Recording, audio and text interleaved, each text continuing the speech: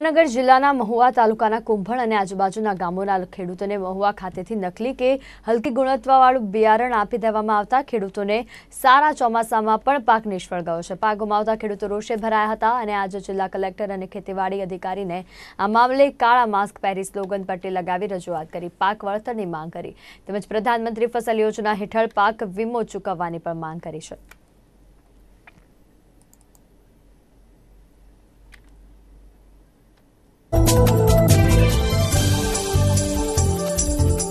અત્યારે જે મહુવા તાલુકાની અંદર આ કુંભળને આજુબાજુ ગામના ખેડૂતોને હજારો મણનું સિંગનું નકલી બિયારણ કે હલકી ગુણવત્તાવાળું જુદી જુદી કંપનીઓનું પધરાવી દેવામાં આવ્યું છે. એટલે આ ખેડૂતો ખુદ મેદાનમાં આવ્યા છે અને ખેડૂતોએ અમને રજૂઆત કરી એટલે અમે આજે જિલ્લા કલેક્ટર અને ખેતીવાડી અધિકારીને રજૂઆત કરવાના છીએ અને આ નકલી બિયારણનું એને ખેડૂતોને પૂરેપૂરું વળતર મળવું જોઈએ એવી અમારી અને આ ખેડૂતોની માંગણી છે.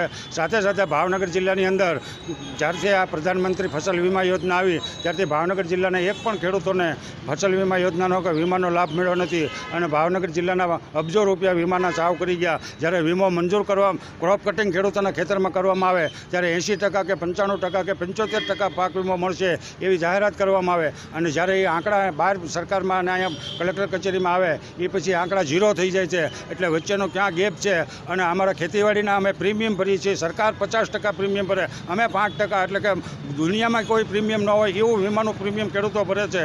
અને છતાં પણ ખેડૂતોનો વીમો ત્રણ વર્ષ સુધી દબાવી રાખવામાં જાહેર નથી કરવામાં આવતું. એટલે જો આજે અમે કલેક્ટર સાહેબને કહેવાનું કે ભાવનગર જિલ્લાના પાંચ વર્ષના અમને વીમાના આંકડા આપો અને અમને જોવા દો નહીં જોવા દો તો અમે આવું આંદોલન ગામડે ગામડે કરશું.